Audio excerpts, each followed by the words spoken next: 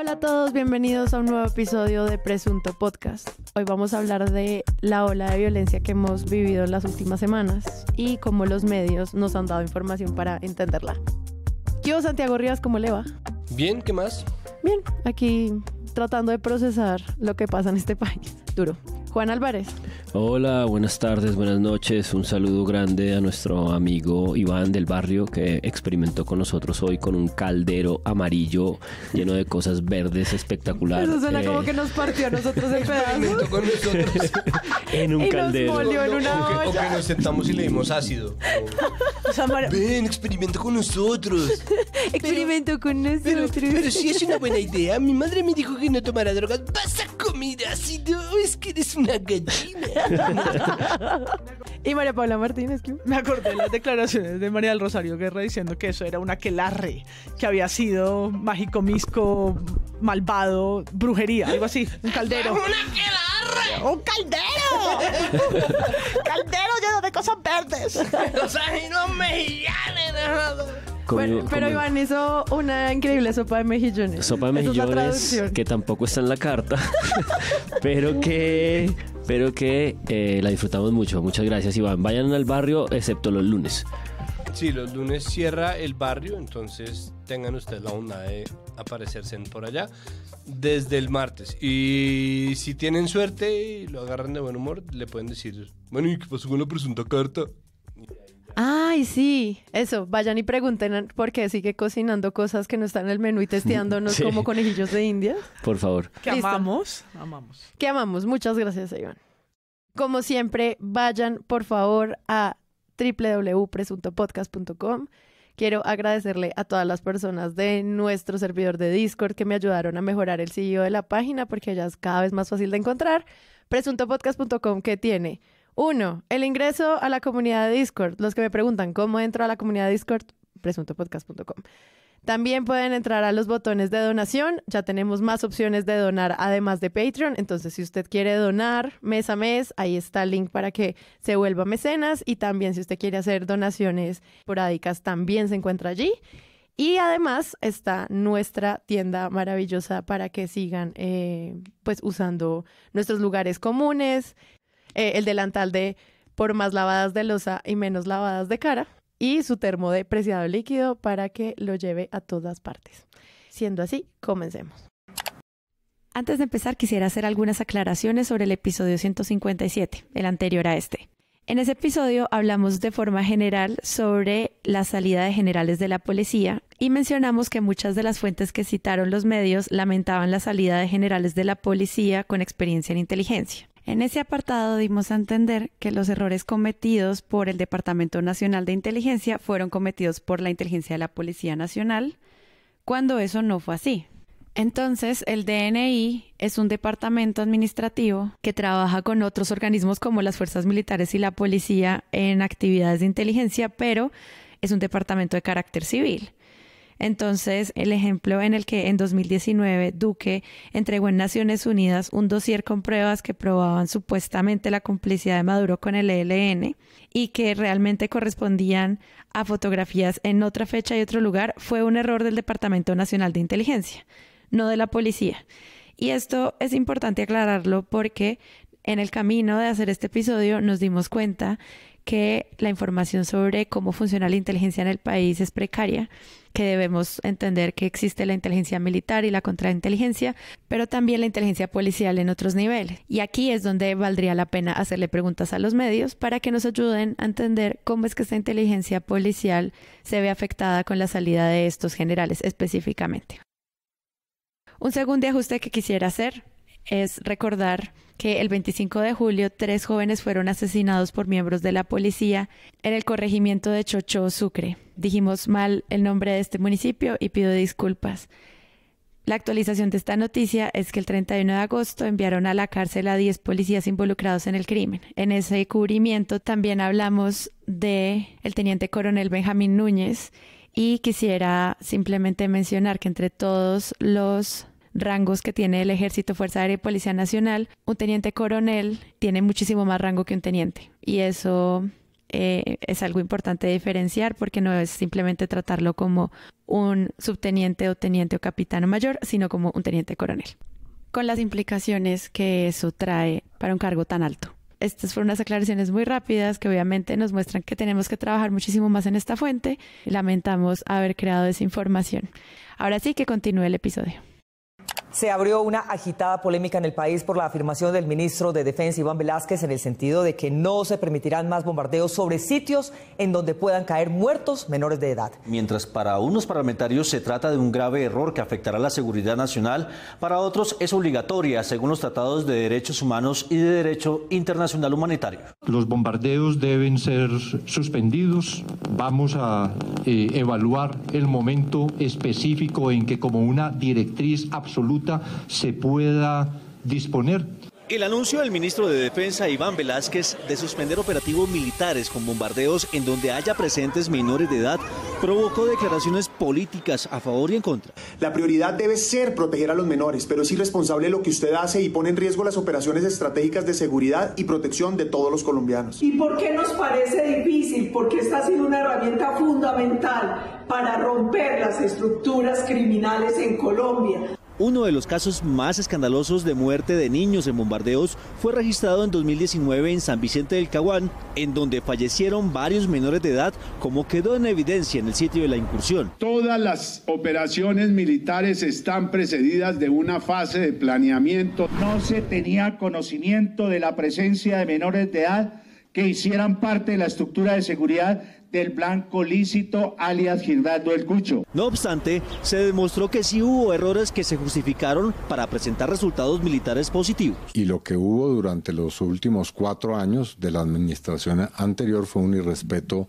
sistemático al derecho internacional humanitario. El manual de la implementación del derecho internacional humanitario es claro frente a estas situaciones. Tiene que existir una reacción. Una la medida anunciada por el ministro Velázquez por... recibió el respaldo de los organismos internacionales de derechos humanos, incluida la ONU.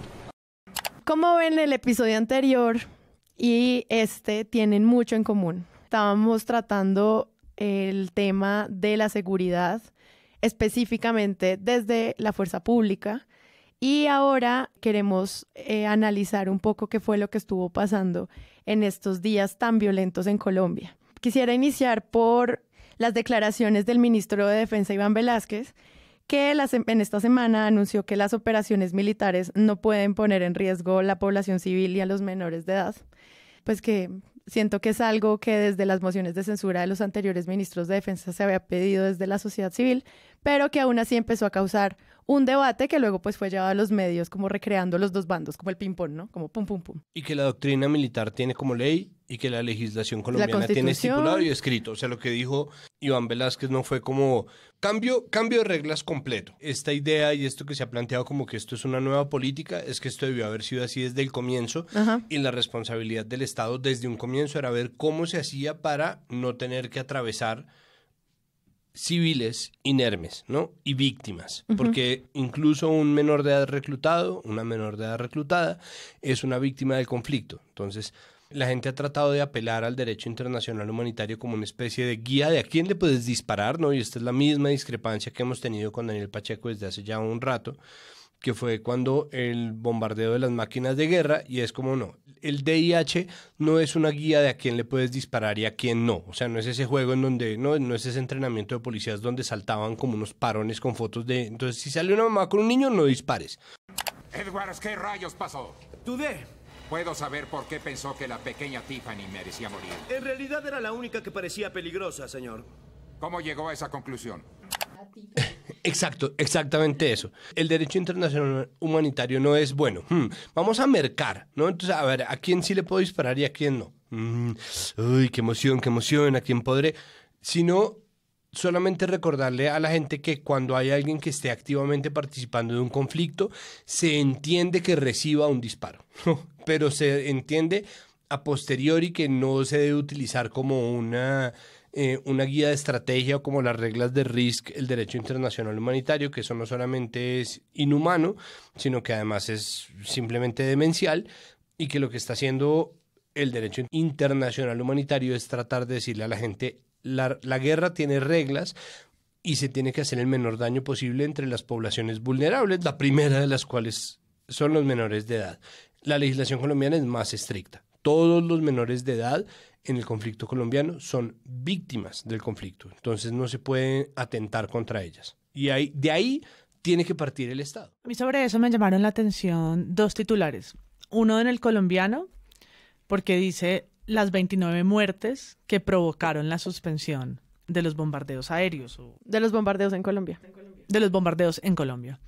Y lo digo porque creo que el provocaron está raro en la redacción, porque no provocaron la suspensión. Es decir, es un análisis que en la nota va a contar el contexto de en los últimos bombardeos quiénes fueron los menores de edad que murieron, eh, pero no es una provocación o, o- o no sé cómo, cómo se le puede dar la vuelta al titular para que realmente se enfoque en la protección de derechos humanos o el derecho internacional humanitario, que es lo que apunta Santiago. Y peor, el de RCN Radio, que dice suspensión de bombardeos afectaría presupuesto y combates de las fuerzas eh, militares. Y adentro de esa nota hay una metáfora rarísima que dice una de sus fuentes, es como si se tuviera la comida en la sala de su casa, pero no la usa y todo el mundo se está muriendo de hambre. ¿Qué qué?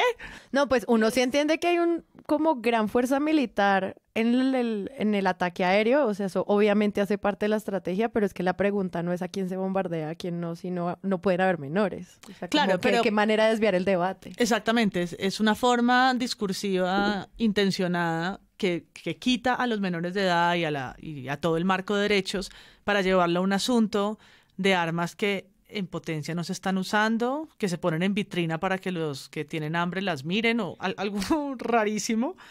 Y entonces dice, un bombardeo tiene un objetivo fundamental que es minimizar los riesgos propios y al no hacerlo se pone en más riesgo a las tropas. Y es volver a poner a las tropas del ejército en el centro del debate cuando lo que, estará, lo que busca la declaración del Ministerio de Defensa es poner a los menores en el centro del debate y estas notas los desplazan. Total. No, esa nota que resalta MP me interesa mucho porque yo también la tenía aquí muy, muy atendida. No solo porque en el titular está la palabra presupuesto, que es como, eh, eh, me parecía como una especie de desliz, pero luego cuando uno ve la nota completa que la eh, hace Mauricio Collazos, pues tiene una fuente eh, que es una persona que dirige una fundación que se llama Por la Dignidad de los Héroes de Colombia. Y me interesó mucho la nota porque más allá pues de estas cosas eh, criticables, sí está un poco contestando a la lógica guerrerista de es que un bombardeo no es lo que ustedes piensan que es. Un bombardeo protege a las tropas en el, en, el territorio, en, en el, en el campo, las, las tropas digamos que van a pie, la infantería. Un bombardeo requiere unos pilotos que se entrenan para eso y es efectivamente el desglose de un presupuesto. Claro. O sea, Sí, es la hecho- idea como de, o sea, si ustedes quitan los bombardeos, ¿qué va a pasar con toda esa plata? Y es como, amigo, de eso es de lo que estamos tratando de, de- de discutir. Y varias veces dice la nota como se minimizan los riesgos, se minimizan los riesgos. Y como es una nota con una fuente, Claro. no hay ninguna otra que le diga, Pero, pues los ¿cuál- de las Fuerzas Armadas, pero los de la población civil se elevan bastante cuando hay un bombardeo, sus riesgos de, por ejemplo, morirse. Sí, y yo nada más la combinaría porque si es una nota pues como militarista en la mayor eh, sentido de la expresión, es decir, es una nota que desglosa todo lo que se pierde en términos de, de- de inversión de dinero si los bombardeos no se hacen, eh, y es eh, conectarla con una columna, Juan Lozano, en el tiempo, que es una columna también muy sinuosa, porque empieza reconociendo justamente esto que un civil inteligentemente sabe que tiene que reconocer, y es que, bueno, papi, es que de lo que estamos hablando aquí es de la vida de unas víctimas que están allí en esos campamentos. Eh, y la nota y la columna de Juan Lozano tiene una cosa que me interesa mucho, y es que al final como obviamente está argumentando en contra de la decisión del ministro Velázquez, lo que sugiere es que abandonar los bombardeos es una cosa muy, muy peligrosa en términos estratégicos porque fue el factor definitivo crucial para que se cambiara la ecuación de poder frente a las FARC y que ese cambio de la ecuación de poder fue lo que permitió que las FARC, eh, lo que condujo a que las FARC se desmovilizaran o estuvieran en una posición de negociación. Y eso me, me resonó mucho porque eso creo que es de las cosas que el uribismo nunca ha podido reconocer. Y es que hicieron una parte importante en ese eh, cambio de mano que, que Santos aprovechó para, para hacer el acuerdo de paz. Pues de hecho, una de las noticias que más eh, se replicó durante el periodo 2014-2016 era una nota en la cual se mostraba por grabaciones y por filtraciones que Álvaro Uribe había tratado de establecer diálogos con las FARC. Claro. ¿No? Entonces lo que se le estaba diciendo era como, mire, o sea, lo que usted tiene es un problema porque no lo está haciendo usted, pero es decir, usted tenía esta misma intención, parte de lo que Santos le decía todo el tiempo era eso, ¿no? Como, siente, sin usted no habría sido posible hacer estos diálogos. Entonces, eso fue parte de la retórica santista una Sí, y otra para vez. incorporarlos. Para incorporarlos ahí, un poco para también desactivar esa oposición que ellos hicieron. Pero pues es que este, este redescubrimiento de- del mundo por parte de- de- de- del uribismo y de la derecha, pues está obviamente generando cosas muy extrañas, ¿no? Por ejemplo, de las notas que hay en, en- en el documento de preparación, hay una cantidad loca que están citando a Indepaz. ¿No? Indepaz, que antes era la fuente de, los mamertos, que antes era, ¿no? Entonces ahora hay un montón de... El Instituto para el Desarrollo y la Paz Indepaz documentó que hay 72 masacres en 2022, como sí, huevón, eso es lo que llevamos diciendo un montón de tiempo, que hay que parar. Entonces, claro, obviamente volvemos a la frase que hace una semana teníamos, que era el cuento de, de semana de, pese al cambio de gobierno, las masacres siguen su curso en el país, y es como... No, pues, ¿qué, qué esperabas? Eh, un, un- un escudo antibalas, lo que tú decías la vez pasada, ¿no? No, pues el, el hashtag bombardear eso, ¿cómo fue? Es decir, no, yo creo que lo, lo principal en el tema de, de la suspensión de los bombardeos en territorios donde se supone que hay menores de edad, donde se sospecha que hay menores de edad, lo que generó fue una cantidad de falsos debates. Nosotros tenemos esta figura instituida hace ya muchísimo tiempo en este podcast, pero la cantidad de falsos debates Debate, no debate. que, que termina pues un poco poniéndonos a discutir sobre esa misma figura. Es como qué es debatible y qué no es debatible.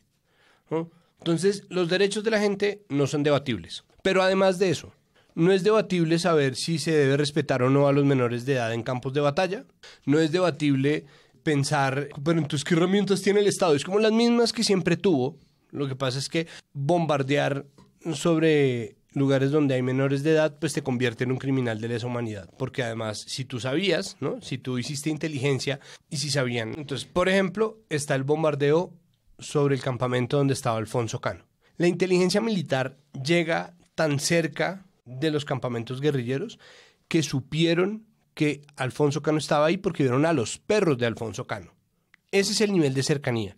¿Se acuerdan que Duque tuvo tres ministros de defensa a cual peor y que el primero además era un dirigente gremial? Pues este dirigente gremial Botero, el primer debate de control político que se le hizo, se le hizo porque bombardeó sobre un campamento donde había menores de edad, pero además porque sabía, es decir, el ejército tenía información de que allí había menores de edad y bombardeó.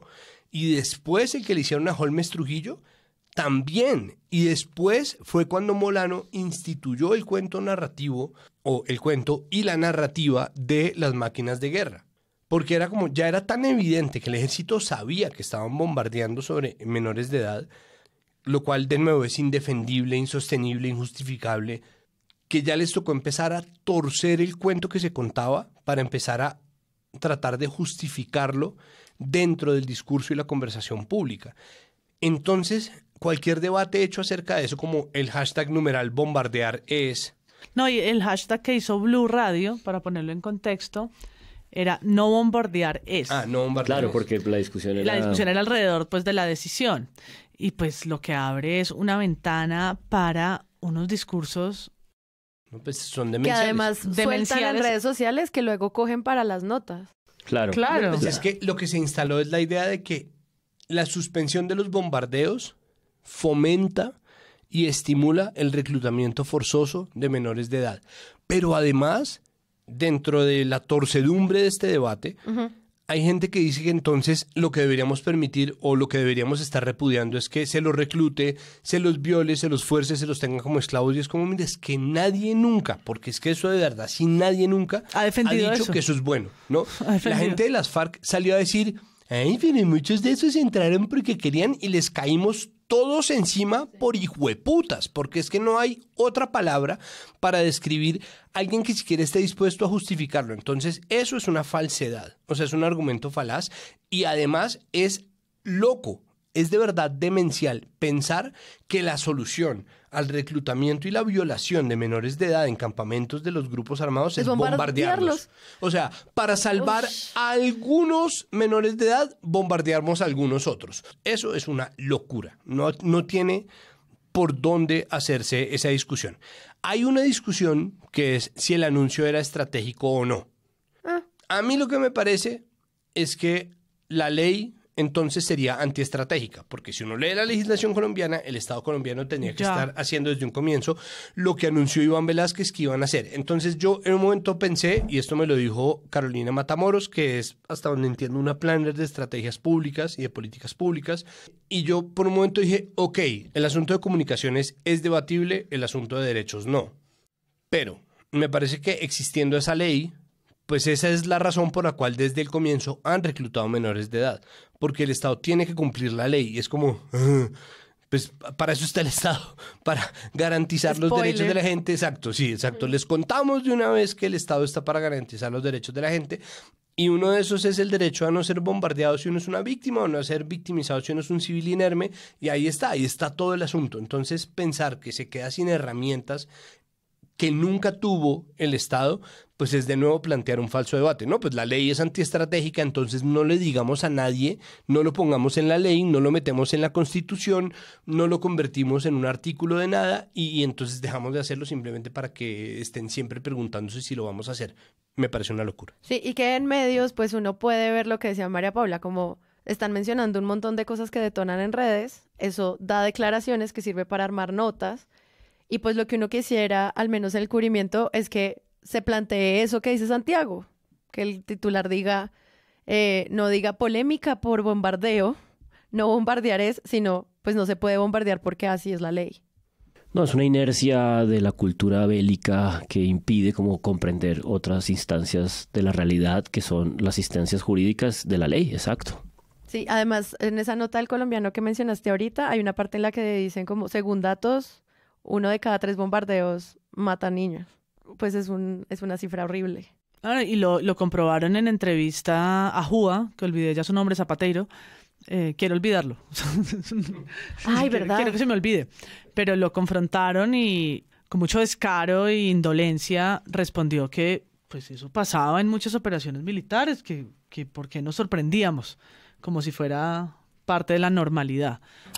General, sin embargo, déjeme decirle que no fueron tan precisos, porque estamos hablando de una mujer embarazada que murió y de un menor de edad. Y eso usted lo sabe, a la luz del derecho internacional humanitario, no son blancos eh, legítimos. Yo quiero decirle que no es la primera operación, José Manuel, donde caen mujeres embarazadas, donde caen menores de edad que son combatientes colombianos, combatientes. Y la estructura criminal tiene integrantes que hacen parte de la estructura y también integrantes que están en el momento de las acciones que se hacen contra la tropa. Pues es que un mundo que considera que hay un grupo de personas que pueden ser tomadas como daño colateral, simplemente para que la gente en las ciudades o la gente desde su Twitter pueda dar discusiones o para que se puedan plantear hashtags o para que se puedan escribir columnas de opinión, ¿no? La gente que piensa que eso es un mundo que está compuesto de debates que están no mirando a las personas que están verdaderamente sufriendo los rigores de una guerra que los está bombardeando. Como a nosotros no nos bombardean, como nosotros estamos de este lado del avión, para nosotros es mucho más fácil pensar, pero ¿qué si bombardeáramos esto? Es como, sino gente que está muriendo. Entonces hablar de los bombardeos tan a la ligera, de verdad es una locura. Entre el 26 de agosto y el 28 de agosto, último fin de semana de este mes, este año, al menos 15 personas fueron asesinadas. Siete en Nariño, donde ocurrieron dos masacres, cuatro en Cúcuta, cuatro en Magdalena, tres en Barranquilla y dos periodistas en Magdalena. Fue un fin de semana horrible y los medios pues ayudaron a hacer el retrato de mm, esta situación que están viviendo como tantos lugares al mismo tiempo y por tantas razones. Entonces creo que aquí lo que se plantean es muchos lugares en los que se pueden ver qué es lo que está pasando con todos los tipos de violencia que vivimos los colombianos que terminan matándonos, ¿no? Y ahí pues hay notas de todo tipo. De otro lado, avanzan las pesquisas para ubicar a los responsables de una masacre registrada el sábado en Cúcuta. Tres de las cuatro víctimas estaban en el lugar equivocado. Según sus parientes, eran músicos. De manera preliminar, las autoridades han revelado que hacia las 11 de la mañana, hombres armados ingresaron a un billar ubicado en el corregimiento de Altaquer, zona rural de Barbacoas, Nariño, y dispararon contra las personas que allí se encontraban. Según el senador Feliciano Valencia, las víctimas serían cuatro indígenas aguar. Así en las últimas horas fueron asesinadas tres personas dentro de una vivienda en Buga. Según las autoridades, en los últimos días se han registrado varias masacres en este municipio. Sobre la investigación, el hallazgo de tres cadáveres, tres cuerpos en bolsas que fueron encontradas en Kennedy, al suroccidente de Bogotá.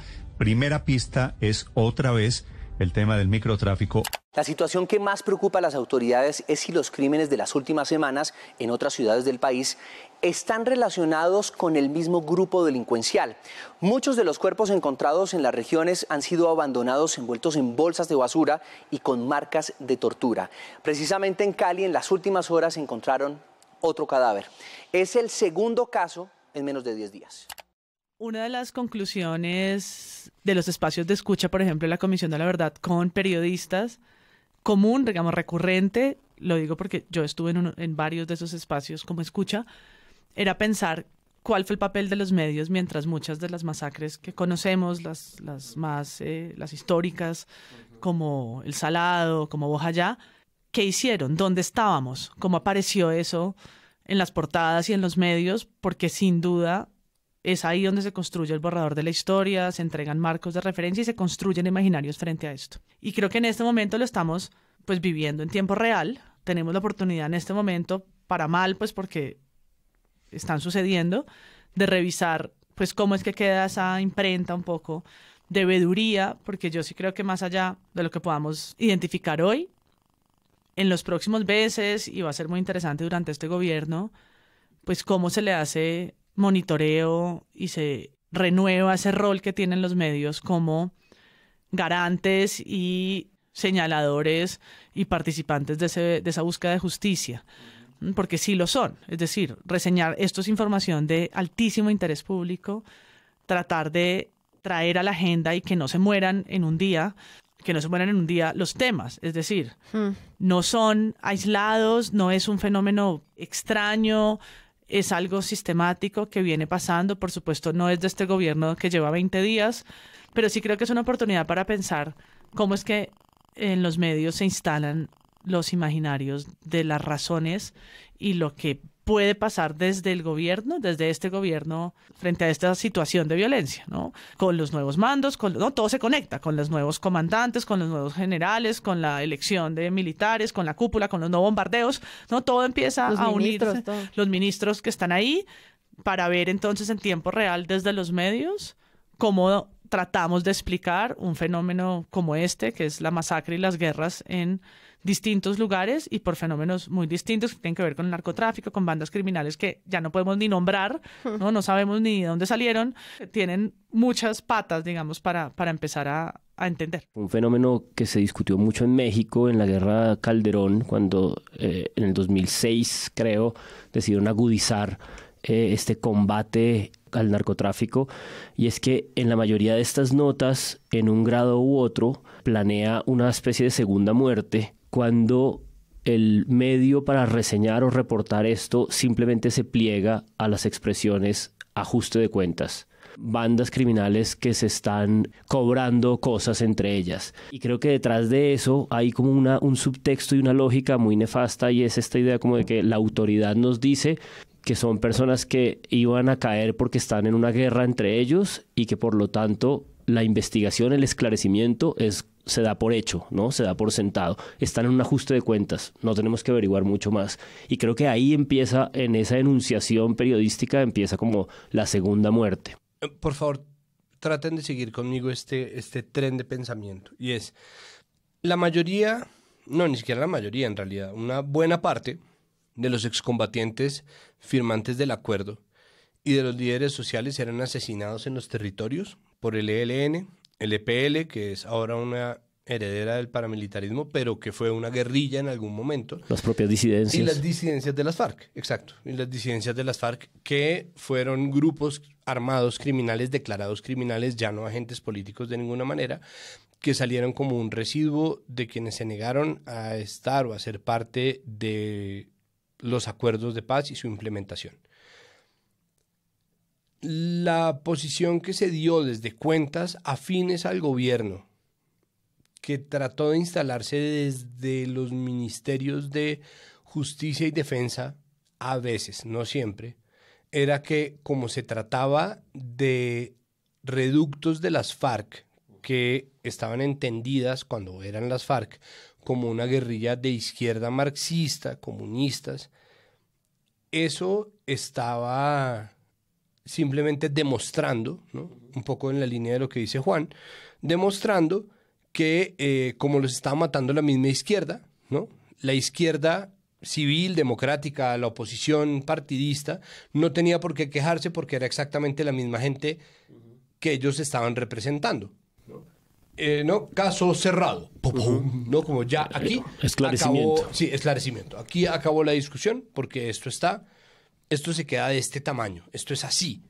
Ya Sí. nos está matando la izquierda, que es un poco lo mismo que pasó durante el paro nacional del ministro de Justicia, eh, diciendo que es que a los manifestantes no se estaban muriendo, era en riñas, con los que la gente está tan alebrestada que termina peleando y, y peleando mueren. O es lo mismo que dijo el ministro de Defensa gremial Botero, que es que a los líderes sociales los están matando era por líos de faldas, a muchos era por robarles la ropa que tenían colgada ahí en, ¿no? en, en sus comarcas, ¿no? Eso era como... Eso pasó en serio. Sí, eso pasó de verdad. Es entonces, verdad. Como, entonces que, que eso, eso era como, pero si eso es, no, porque lo estamos viendo como un fenómeno macro, no importa que en este año ya haya 72 masacres en todo 2022, eh, eh, era como un asunto como, pero si esto es crimen, ¿no? Pero ¿qué están esperando que haga el crimen? Pues crimen, ¿no? Entonces ahí, la, ahí la, el, el gran problema venía, ahora que tenemos un gobierno nuevo, cómo se iba a tratar ese problema precisamente desde esa orilla que desestimaba. Y precisamente entonces ahora se está hablando, ¿no? El gobierno los desangra, sale Miguel Polo Polo furioso a reclamar por las A, masacres. a que las detengan. Entonces, de nuevo, o sea, yo quiero resaltar lo muy positivo que es que la derecha y la ultraderecha de este país se estén fijando finalmente en la gente que está muriendo lejos de las ciudades. Y al mismo tiempo, tengo que decir que sí, que efectivamente, ahora que el gobierno de Petro es responsable de la fuerza legítima del Estado y del aparato estatal, pues es exactamente el gobierno que es responsable por parar las masacres que el gobierno Duque nunca logró parar en cuatro años. Entonces, es el momento de efectivamente reclamarle al gobierno de Petro que haga alguna cosa, pero no deja de ser llamativo hasta qué punto se tuerce en un giro de 90 a 180 grados la narrativa sobre la gente que está muriendo y a quién son y quiénes están matando a los líderes sociales. Es una locura que exista un solo argumento o una sola línea de relato que le permita a alguien decir que no se debe investigar un asesinato porque lo cometió alguien que presuntamente tiene la misma ideología política que quien está reclamando porque se lo masacre. Porque de nuevo, quien queda reducido a nada, reducido a un número, es quien está muriendo o quienes están muriendo, porque de nuevo una masacre es a partir de tres personas. Mm, Yo quiero volver sobre lo que dice Santiago y es una, una nota de semana que apareció en Confidenciales. Es una sección, pues, eh, claro, como, como toda la revista que, que va de mal en peor, pero que realmente pues, se desdibujó por completo. Anteriormente estaba dedicada a revelar algunas movidas del poder y era interesante ver que, aparecían las confidenciales cada semana y ahora es un espacio editorial rarísimo en donde se tiran unas líneas que probablemente pues responden a unos intereses que cada vez son menos menos ocultos de lo que ellos mismos creen. Pero bueno, este confidencial dice petrismo, dos puntos, como este colectivo que ellos retratan, antes criticaban las masacres, ahora guardan silencio. Y es, por supuesto, pues una nota muy corta, sin fuentes, porque es un confidencial eh, de autor, por decirlo así, como la cocina de autor. Jo- Jai- y dice- José Jaime Buscate y es la única fuente. Sí, y- exacto. Y dice esto. Uno de los asuntos que más ha llamado la atención, a semana me imagino, tras la instalación del nuevo gobierno, ha sido el aparente silencio de los sectores petristas tras las masacres que se han presentado en el país y especialmente en Bogotá, donde se ha vuelto constante que las autoridades encuentren cuer- cuerpos desmembrados metidos en bolsas plásticas. El tema ha generado inquietud si se tiene en cuenta que hasta hace apenas algunos meses los llamados sectores alternativos, otro colectivo mm, no definido, Pues ahí está el llevaban, grunge, el surf punk. Todos esos sectores alternativos. todos esos sectores llevaban una cuenta estricta de cada uno de los hechos criminales que ocurrían en Colombia. Que decíamos el, el episodio anterior, esa cu- cuenta se sigue haciendo, no falta sino entrar a las cuentas de Indepaz o de otros colectivos para hacerlo. Pero pues me, me llamó la atención, por supuesto, por cómo está construido, pero también en la nota de contexto, que no es un confidencial, sino la de las 72 masacres, que es una nota, digamos, periodística anterior a esa, dice, recuenta que en lo que va del año son, en efecto, 72, pero en ningún momento en la nota repara en que, pues, por lo menos el 90% de esas masacres son durante el gobierno de Duque, por, por cronología, pues porque el de Petro lleva apenas en este momento, que hoy es 30, 28, ¿qué, qué día es hoy?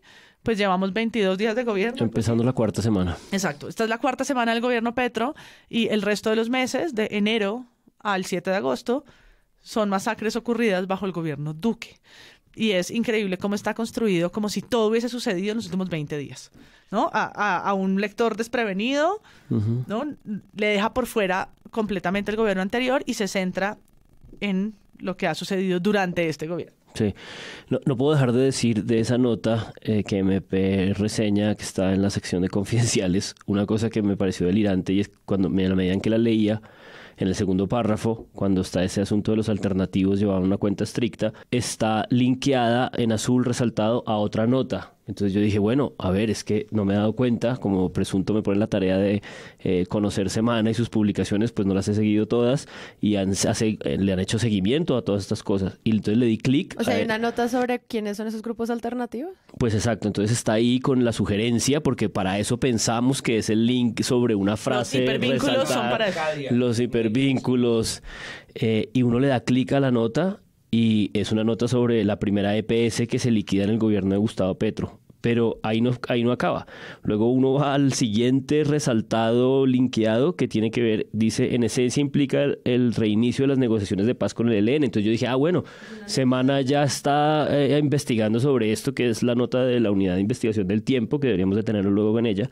Entonces le, doy, le di clic a esa también, y es una nota sobre eh, Gustavo Petro y Cabal, cuando se reunieron en privado. O sea, una, un resaltado sobre las negociaciones con el ELN conduce a una nota sobre eh, la reunión de Petro y Cabal. O sea, no tienen nada que ver. Como la evolución de los fake news. Sí, exacto. Es, es Simplemente desviación. Ahora simplemente un poco de túneles que no van, que no van exactamente para el mismo lado. Es el deprimido de la 94. En lo, Sí. en lo más básico del periodismo digital, que es poner un hipervínculo relacionado, el Relacionado, 101, sí. ¿no? Como O sea, el, sí, el- si el tú estás- internet del 96, Es una el locura. hipervínculo. No, está, o sea, Sí, están produciendo la idea de que hay una profundización en las noticias importantes, el llevado de la cuenta estricta, las negociaciones con el ELN y no tienen notas sobre eso. O sea, es una cosa delirante, pero bueno, Eso me acuerda de ensayos que me entregan estudiantes, que les pido palabras y ponen letras y las colorean de blanco. O sea, escriben la misma letra y las colorean de blanco y uno cree que es como no las voy a ver, obviamente las estoy viendo. Como para hacer ¿Qué? trampa.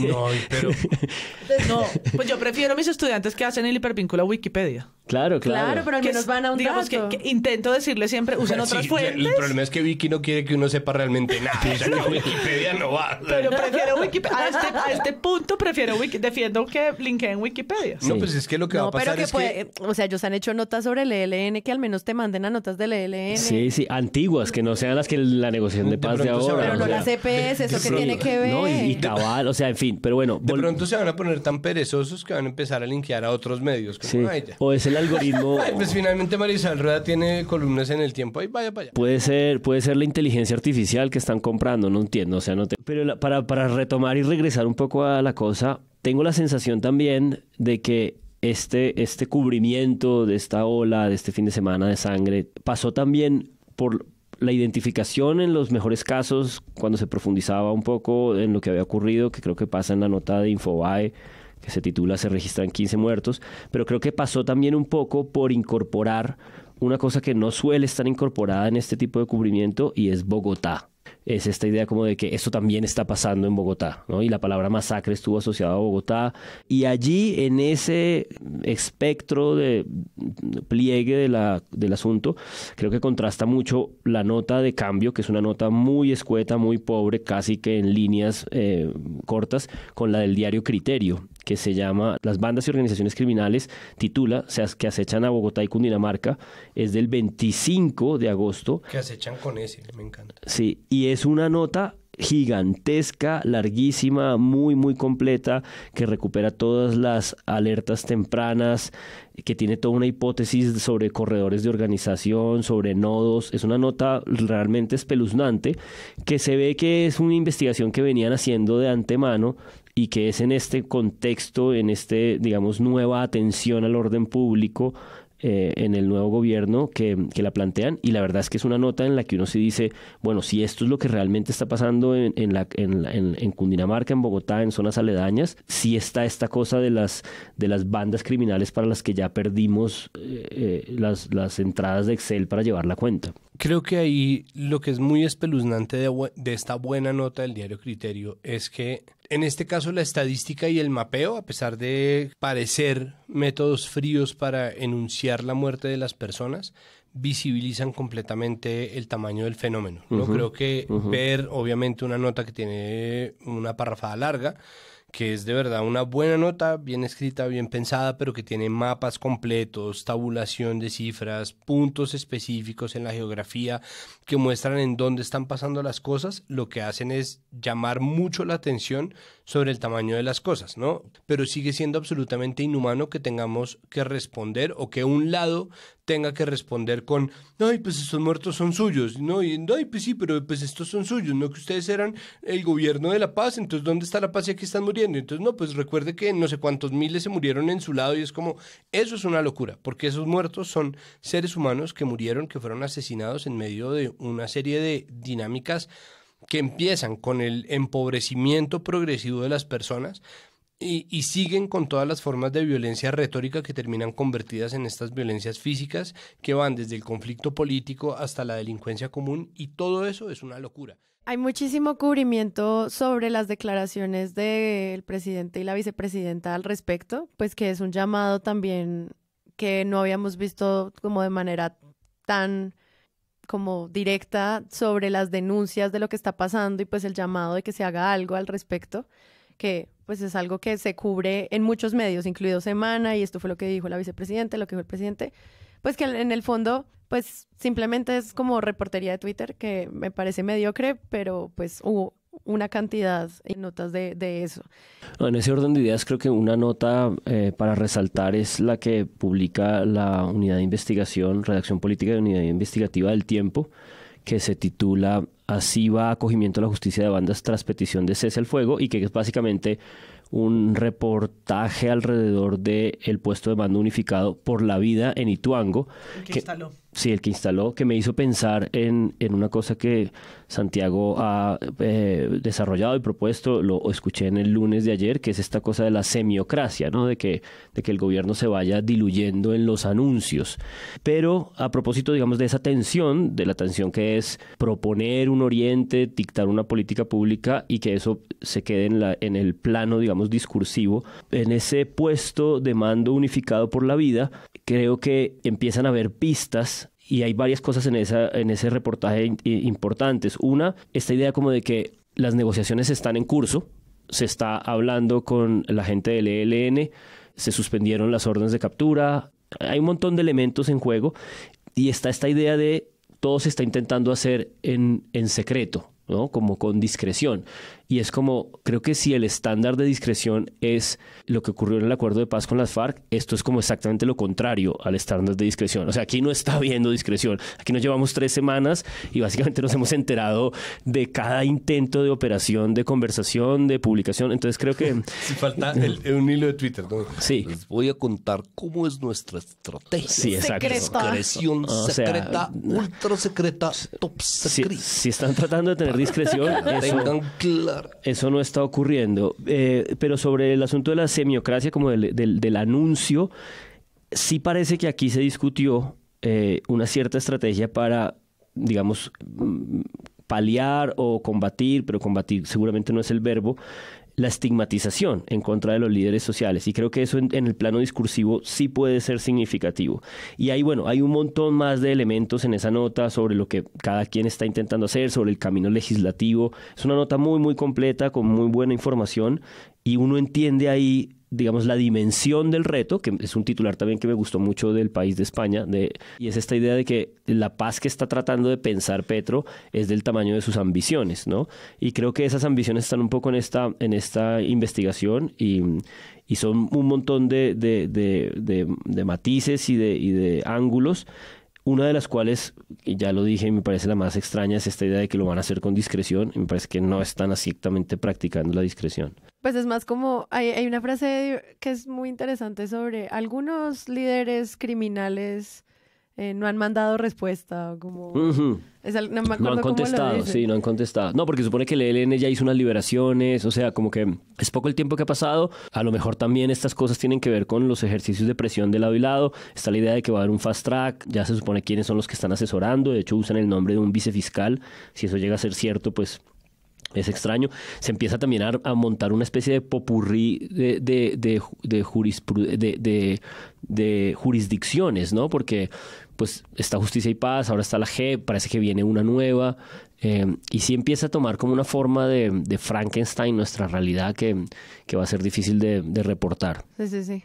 Yo quería volver sobre la pregunta que hiciste de los cubrimientos como a partir de Twitter, que yo creo que son importantes porque es por ahí donde también el presidente ha dado algunas de las declaraciones sobre esto. Obviamente también hizo un, un par de anuncios, digamos, a micrófono, pero dijo, pues este país no puede ser el país de las masacres y tejió por ahí pues un argumento y luego del asesinato de los dos periodistas en fundación sacó un mensaje de rechazo y de, de solicitud de justicia que no es menor, no es menor después de un gobierno que por cuatro años no emitió ninguno. Claro. Uno Frente a- solo, exacto. Exacto, frente a los asesinatos y frente a la Sí. violencia contra periodistas. Entonces creo que pues Twitter es una fuente obligada para los periodistas porque es un canal de comunicación de la presidencia, clarísimo, de un presidente que eh, tiene el celular en su bolsillo y que lo utiliza todo el tiempo como canal de comunicación sin dejar de aparecer en los medios, porque lo sigue haciendo con bastante frecuencia y no se ha negado a entrevistas y a fotos y a ruedas de prensa largas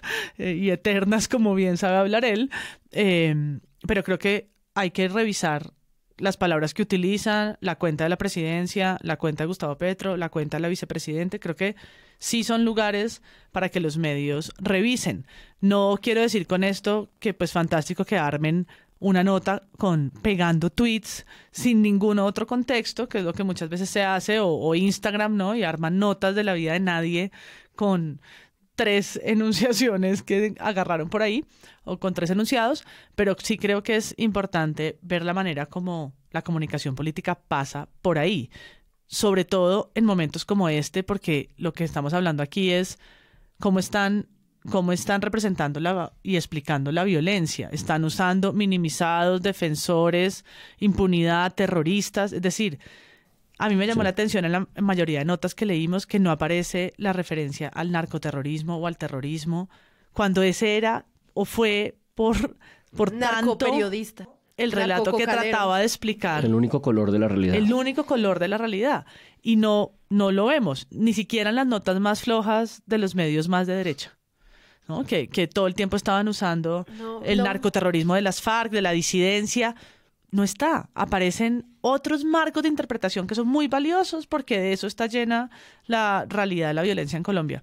Y en Twitter igual, al desaparecer de los discursos de poder, pues también desaparece de esas esferas. Claro. Yo no veo a nadie gritando en Twitter es que lo- es que las masacres de este fin de semana se, se justifican por narcococaleros. No, no, no apareció. No había pensado en eso y es impresionante. acepto la metáfora de que una cosa son las palabras y otros los hechos y de que transformar la realidad requiere más que enunciaciones, más que una semiocracia, pero llevamos tres, cuatro semanas y empezar a cambiar el, el vocabulario con el que se enfrenta la complejidad de la realidad no es tan poco, no es tan poquito, ¿no?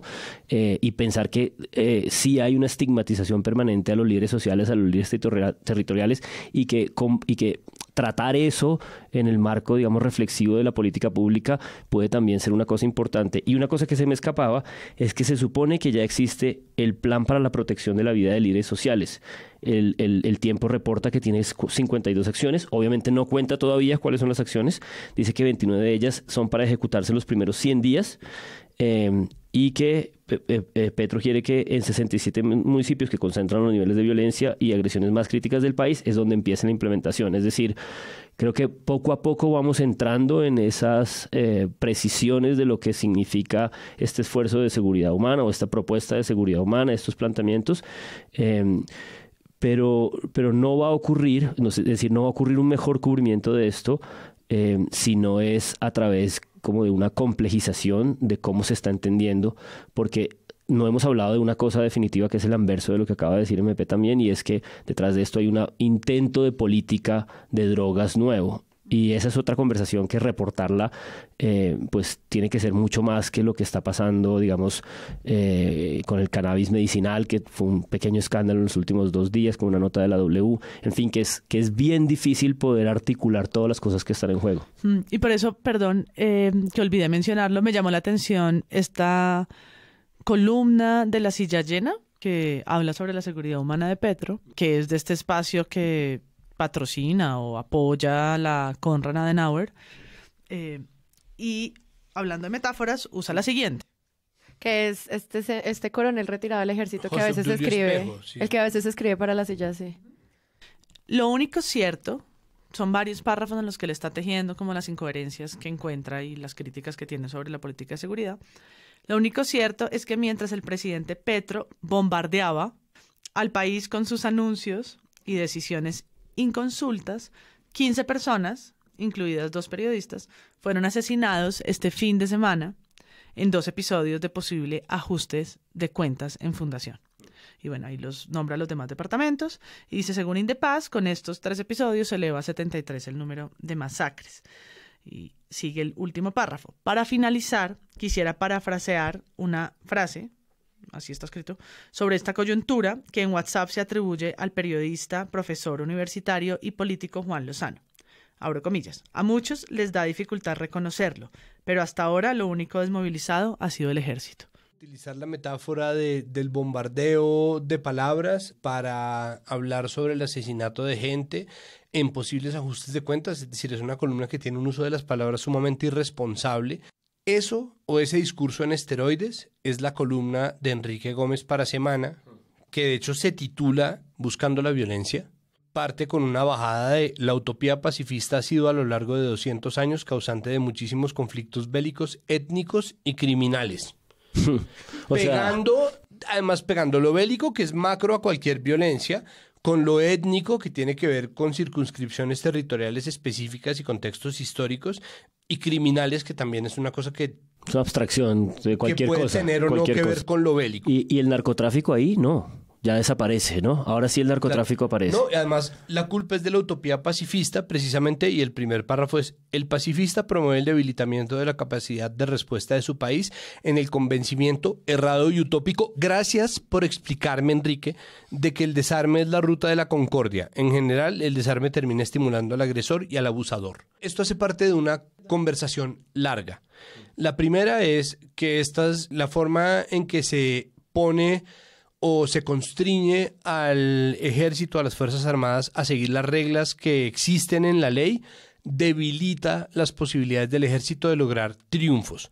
Pero además esto está pegado en los libertarios y ultraderechistas que siguen a Enrique Gómez y que siguen a gente como María Fernanda Cabal, que son pro porte de armas y que piensan que la solución, por ejemplo, a la criminalidad que está metiendo dentro de la primera frase Enrique Gómez, que no tiene nada que ver con, con los conflictos bélicos en los territorios rurales, tienen como solución posible la legalización y expansión del porte de armas, el estímulo del porte de armas. En esa misma columna que Santiago eh, señala, reseña, fíjense a este párrafo. Dice, ambas iniciativas pacifistas, ¿no? Porque ahora el, el- el adjetivo para desacreditar... El nuevo castrochavismo es el Es el pacifismo. pacifismo. Es como el santismo de Vicky. Sí. ¿Qué tal este santista lo que hizo? Ah, ya. Ambas iniciativas pacifistas se desarrollarán con el telón de fondo de las iniciativas de legalización de los cultivos de coca, la suspensión de la cooperación judicial con la extradición, la aparente conformación de un sindicato de países productores de coca para cacarear en instancias multilaterales y el avance en la legalización interna del consumo, ¿no? Todos son instancias meticulosas sobre el problema de drogas. Todo esto sin abordar como debería ser prioritario y esencial el desmonte de la prohibición del tráfico y consumo en los países consumidores, principalmente Estados Unidos, creador e impositor histórico de la guerra contra las drogas. Es decir, en este párrafo lo que uno tiene que entender es que ellos sí comprenden el problema de las drogas. Ellos sí comprenden que hay unas acciones que están en curso para tratar de pensar la política de drogas diferente y que sí hay una jerarquización y un sometimiento a la política de los Estados Unidos. Con lo cual lo que están diciendo es que tenemos que permanecer sometidos a eso, porque de otra manera, mientras no se resuelva ese primer nudo allá arriba, todo lo demás no tiene sentido. Y eso me parece delirante considerando que esta es la derecha que duró eh, 10, 20, 15 años justificando todo a partir de la guerra contra el narco.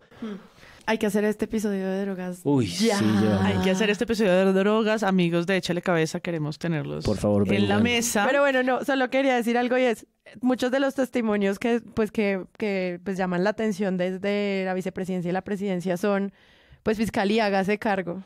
Entonces, eh, Semana le hace una entrevista No lo pudimos evitar. a Barbosa, eh, varias cosas para analizar de esta entrevista. El titular usa estos mega palabras sensacionales y pues sobre todo yo creo que es uno de los artículos más chistosos que yo he leído de semana, o sea, en mi vida. Entonces con ver, esto ah. quiero que nos despidamos hoy porque en serio es sorprendente. Sara Trejos me obligó a leer. Sí, fue una Un asignación, fue una asignación que le dieron a Santiago. que empieza, yo llamo la atención. Pero espérate, ¿cómo es el titular? J'accuse. Por eso, Ese, ese. yo llamo la atención. La sorprendente revelación que hizo el fiscal Francisco Barbosa sobre masacres y asesinato de líderes sociales. Hmm. En Vicky en Semana, el fiscal general hizo un llamado al Ministerio de Defensa, el Ministerio del Interior, la Policía y el Ejército. Hmm. Y ¿Cuál es empieza la- con lo que hablábamos hace una semana. ¿Cuál es la revelación? A pesar del Sorpre- reciente cambio de gobierno, revelación. las masacres no se han detenido en Colombia. Punto. Ya esa frase es Sí. como, ¿what? Las noticias sobre homicidios y asesinatos de líderes sociales siguen siendo una constante. Al respecto, el fiscal general de la Nación, Francisco Barbosa, hizo una sorprendente revelación sobre lo que viene sucediendo en el territorio nacional. ¿Le doy clic a ese hipervínculo? A ver si qué ¿Sabe pasa. qué sale? Fiscalía revela detalles sobre la modalidad criminal que se instaló en Bogotá con el tren de Aragua. Ah, bueno, pero al menos sí, sí, sí, relacionado. sí, sí. Punto para semana. Pues sale en la bien. entrevista, sí. Bien, Pueden- al menos tiene que Pueden poner hipervínculos. Sí en saben. entrevista, o sea, sí sabían. Sí, o sea, sí sabían, o sea, sí sabían. era- sí sabían. O Pero un sea, error o del sea, bot. no es inteligencia desartificial. No, exacto. En entrevista con Vicky en Semana, el funcionario indicó que lo que viene pasando en el país en términos de violencia es lo mismo que él ha venido diciendo desde los últimos cuatro años cuando ejercía el cargo de consejero presidencial y luego como fiscal general. Es decir, no es una sorprendente revelación porque tiene cuatro años al menos. Me encanta sorprendente. Entonces, sí, es una presunta sorprendente, presunta revelación. En esa línea, Barbosa argumentó que no se trata de un asunto del gobierno de Gustavo Petro. Gracias. Tampoco del gobierno de Duque. Gracias. O el de Juan Manuel Santos. Vicky. bueno, ok. Sino que se trata de una conjunción de elementos históricos que tiene Colombia. Esa es la O sea, esto es como revelación. millennials descubren los libros de historia. Claro, O sea, exacto. millennials descubren en Aoya Rubla. Millennials descubren... Sí. Entonces... El M19. Además, yo Mi- quiero... yo- Exacto. Millennials, millennials descubren Wikipedia porque es como Colombia, historia. ¿no? Pestaña. Lo que le pasa a Colombia es que tiene muchas cosas que le pasan Sí, históricamente. desde hace mucho tiempo. Es que esto es como, es co- esto es como fachos descubren. Es como fachos descubren Indepaz, ¿no? Enrique Gómez descubre eh, que, que están matando gente como... Y en el sur del país. ¿Ah? ¿Ustedes pueden creer que este país tenía un sur más allá de Kennedy? ¿No? Entonces aquí empieza la frase de...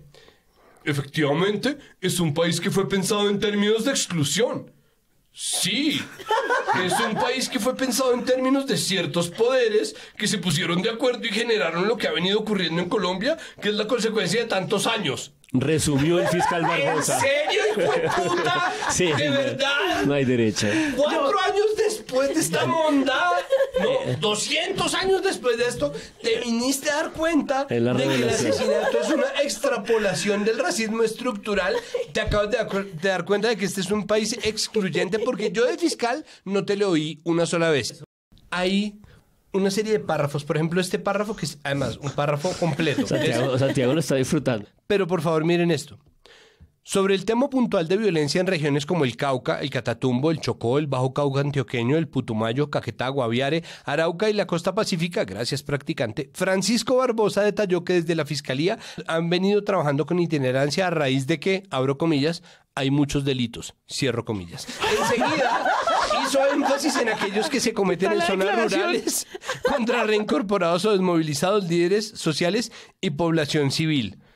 Entonces este man está como, marica, me acabo de dar cuenta de que en este país hay una gente que tiene la piel más oscura y estaba como, hay un suelo en donde no se puede cultivar, weón. Y es como una selva en donde entonces trataban de cultivar y como que lo lograban comer.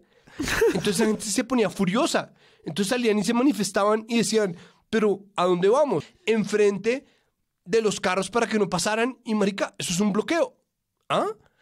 Entonces, por ejemplo, Hace fiscal tiempo, Barbosa hace- pone, además. ponen un hipervínculo que dice, fiscal Francisco Barbosa, lo que hay que hacer es ir desmantelando la justicia penal militar en Colombia. ¿Qué tal el mamerto que es Francisco Barbosa ahora? A raíz de esto es que Sara, Sara que nos puso a oír pedazos de la entrevista, es que Vicky le dice, pero ¿cómo así? Lo veo petrista, usted hizo las paces con Petro y empieza una sarta de estupideces sobre lo institucional que son Y hay un, hay un clipeo en la nota de semana con un Me título... encanta que me, que- que me castigas, como Sara nos hizo. Sí, pues sí. con un título ingenioso que dice lo que pasó, pasó. Podemos poner el reggaetón atrás. Eh, dice, hay armonía entre el presidente Gustavo Petro y el fiscal Barbosa. Y es la cara de los dos, recortado por el mismo practicante que recorta Esa es la las, sorprendente las portadas. revelación. Esa Yo es la sorprendente revelación con el título de lo que pasó, pasó. Y es cuando tratan de armar esta supuesta cercanía entre los dos que no tiene como ni pies ni cabeza. No, pues es que así como la noticia en la muerte de Gorbachev es que Gorbachev estaba vivo, es como la sorprendente revelación en todo esto es que hay cercanía entre Petro y Barbosa, ¿no? Según Vicky. Pero es que O me según encanta- Barbosa. me No, pues como esa nota de cabal que es muy chistosa también. Es necesario que el Ministerio de Defensa, el Ministerio del Interior, la Policía Nacional y el Ejército Nacional me capturen a esas personas. Me capturen. Me capturen a esas personas porque están violando los derechos humanos a los colombianos. Aseveró el fiscal general. Es como, mira, me captura la próxima ronda mi nombre. Sí. Semana todo esto le llama reflexión nacional. O sea, Barbosa hizo una hizo un llamado para profundizar en una reflexión nacional. O sea, todo este sketch es una reflexión Es nacional una profunda. reflexión nacional. Es como, pero por favor, reflexionemos. ¿No se han dado cuenta? Y es que lo peor de todo, Vicky, es que yo te digo esto a ti y tú lo sacas en internet y hay gente que no tiene internet. En Colombia, ¿lo puedes creer? Ya, que está dándose pronto cuenta la de la desigualdad en la que vivimos. La revelación es esa. Sí, sí, Llamemos- sí. Ya, que, ya que llamó la atención sobre el país en el que opera. La- las, las fuerzas militares también, el, eh, las- los otros, los demás ministerios que están involucrados como en dar respuesta a lo que está pasando con la violencia en el país. Em, nos quedan muchos temas, obviamente, como habría sido interesante hablar, por ejemplo, de Nicaragua. Habría sido interesante, eh, pues, discutir la visita de Cabal a la Casa de Nariño, por ejemplo. Pero bueno, esto es todo por hoy. Muchas gracias, Santiago. Muchas gracias por invitarme y por hacerme leer esta entrevista tan deliciosa. muchas gracias, Juana. Hasta luego, buenas noches. Eh, y muchas gracias, María Paula.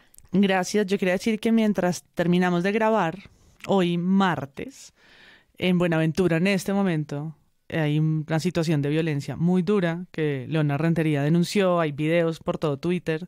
Aparentemente hay como una balacera entre barrios de Buenaventura.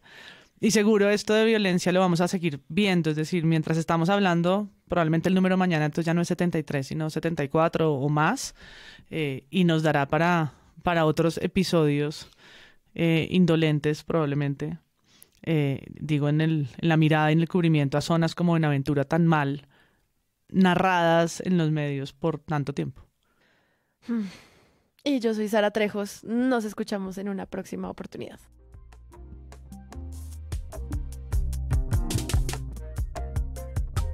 Si les gustó este episodio, los invitamos a que lo compartan en todas sus redes sociales. Estaremos muy atentos a repostearlos y comentar qué les pareció. La producción es de Sara Trejos y el análisis de Presunto Podcast lo hace Santiago Rivas, María Paula Martínez, Juan Álvarez y Andrés Páramo.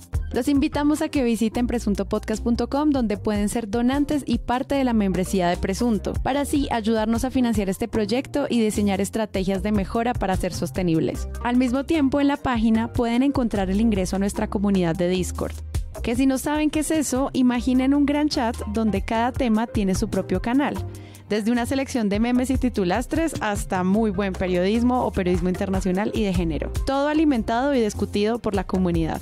También pueden escucharnos en nuestro canal de YouTube y en todas las plataformas de podcast. En algunas de ellas nos pueden dejar calificaciones y eso ayuda mucho a que otras personas nos encuentren. Presunto Podcast hace parte de la red de podcast independientes y John Studios y pueden encontrar otros shows allí.